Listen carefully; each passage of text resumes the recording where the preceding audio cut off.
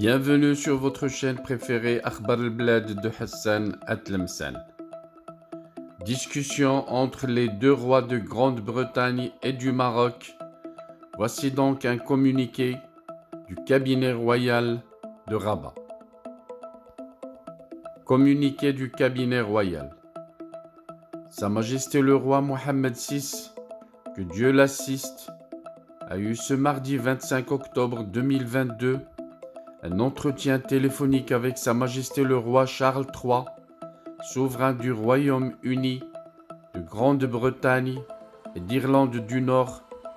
Au cours de cet entretien, Sa Majesté le roi, que Dieu l'assiste, a réitéré ses félicitations à Sa Majesté le roi Charles III à l'occasion de son accession au trône réexprimer ses sincères condoléances suite au décès de feu la reine Elisabeth II. L'entretien téléphonique a été l'occasion de souligner les liens personnels forts entre les deux souverains et l'estime qu'ils se portent mutuellement à la faveur des relations profondes et anciennes entre les deux familles royales.